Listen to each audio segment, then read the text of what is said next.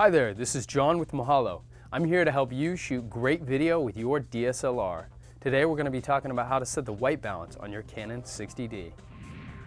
Turn your camera on, ensure that you're set to the movie mode on the mode selection dial.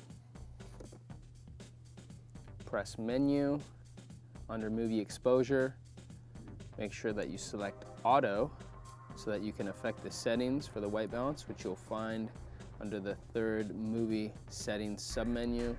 Select white balance.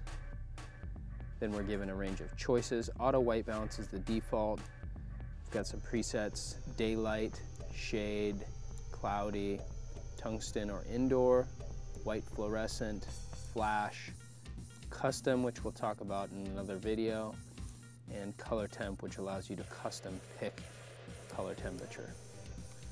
So let's try daylight for this situation. See how that looks. Looks a bit warm. Uh, with white balancing, we'd really like the whites to appear white as they do to our human eye. So let's um, give white fluorescent a try.